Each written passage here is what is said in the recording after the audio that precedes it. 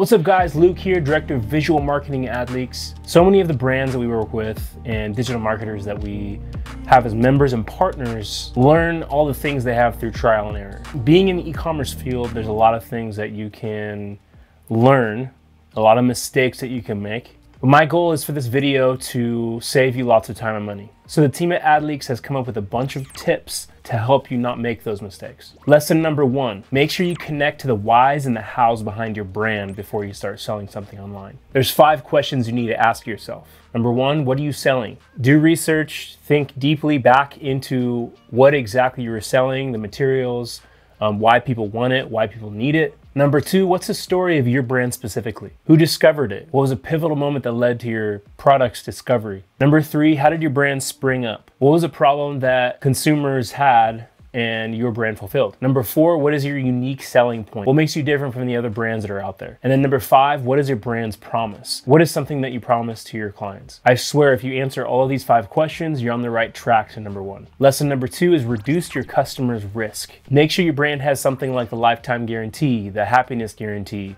so you're gonna have some trust in knowing that your brand and your product are actually gonna work. Some other ones that companies use are the fun guarantee, the first time guarantee, the lowest price guarantee. We see all the big brands doing that right now. Make your cart visible at all times. We've seen a lot of data and a lot of studies have been showing that keeping your cart with a number in it visible the entire time helps with the customer journey. Um, helps them realize that there's actually something in their cart. And when you're in Target, you wouldn't want to just walk away from your cart.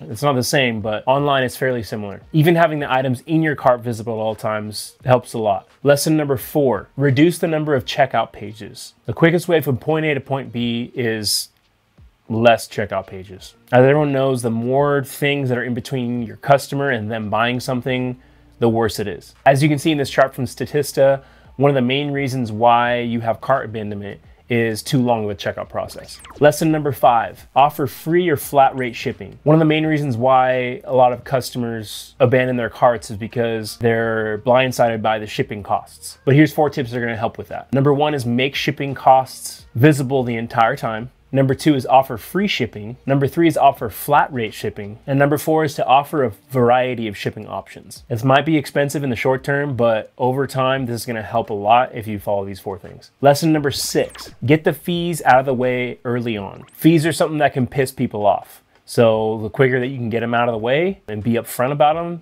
the better, the more trust the customer is going to have in you and the less they're going to abandon their cart. Lesson number seven, give as many payment options as possible. Back in the day, it was cash.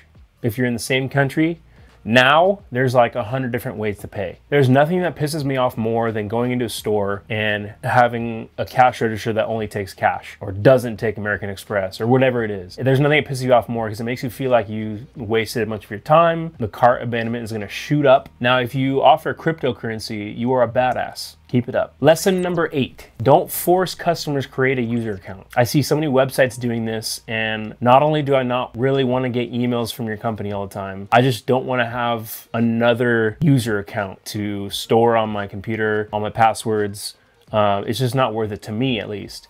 Some people it could be, but don't make them do a user account. Lesson number nine, get creative, baby. Do everything you can to make your products and your services stand out. Whether it's using contrasting colors, popping colors, relevant topics, good looking people, whatever it may be, do whatever you can to make them stand out because there's so much crap out there that you really need to do this in order to get your sales up. A good company that I like who does a good job of product creatives is Harry's. They do a really good job at contrasting colors, keeping things simple, adding that extra orange little pop that you can see on most of their branding is really cool. Lesson number 10, use wish lists as much as possible. People love these. The main thing about these is it obviously gets people to buy more things, but it also gets people to keep going back to your site over and over and over again, which is a good thing. Lesson number 11, upselling works. Now, being a former employee of Olive Garden, I know this firsthand. For an extra charge, you can get unlimited breadsticks, but nobody should eat unlimited breadsticks. Well played, Olive Garden.